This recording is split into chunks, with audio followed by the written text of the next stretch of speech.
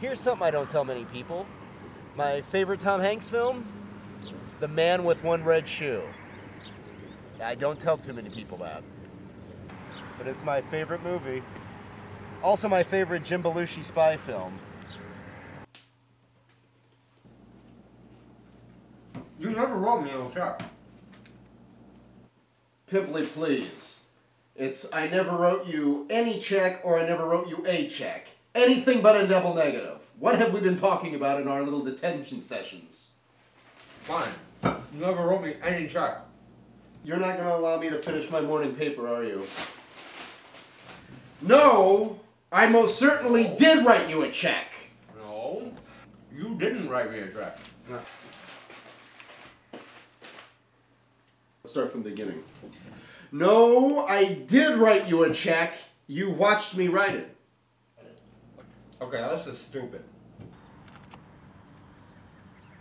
I've got what kind of taste in film? Are you talking to me? Damn straight I'm talking to you. You're the one talking about my taste in film. I didn't say anything about your taste in film. You started chuckling when I said The Man with One Red Shoe was my favorite movie. No chuckling, Dirk. Oh, I get it. NYC film graduate, right? Has got all the answers, big expert on movies, huh? Well, you're getting paid, paid pretty damn well holding that camera filming me, aren't you? No paycheck, Dirk. Not a dime so far. Oh, yeah. You're getting paid mighty fine. The Man with One Red Shoe's a good movie! And you promised me a Vespa! I still don't have my Vespa! No, I never promised you a Vespa, and yes, you do have one. Okay. None of this is making any sense. And it's clear you're trying to bullshit me. No, it's not clear that I'm trying to bullshit you, and yes, this all makes perfect sense. Look, you promised me $10,000 in a Vespa, and all I've gotten from you is a half-eaten bag of pumpkin seeds. That's worth about 20 cents. $10,000 does not equal 20 cents. I've got a signed contract. No, there's no signed contract, and yes, you've been paid exactly what I promised. You paid exactly a half-eaten bag of pumpkin seeds. That's worth about 20 cents. $10,000 does not equal 20 cents. I've got a signed contract. No, you're not getting any money. And yes, $10,000 does equal 20 cents. Oh, I still get it.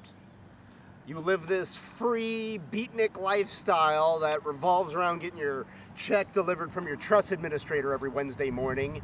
And then let me guess, you got some really cool, chic, easygoing hippie girlfriend. You jump on your tandem bicycle, ride down to the bank, cash the check. Then it's off for an afternoon of lounging in the park.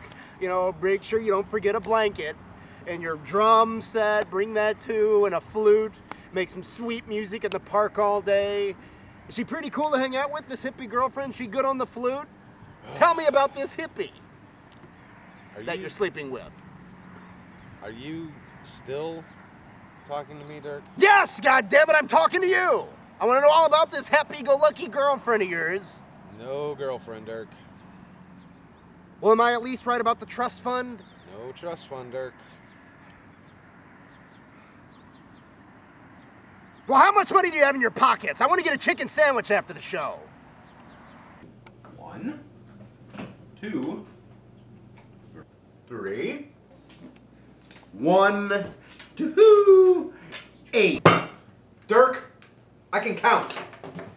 It's one, two, three. No, you can't count. It's one, two, eight. I'm not going to keep running around in circles like this. Either you pay me, or I call the gym and tell them I faked the seizure. No, you are gonna keep going around in circles like this. I'm leaving. You have an hour to pay me before I call the gym. No, you're not leaving. Well, can I at least borrow the Vespa?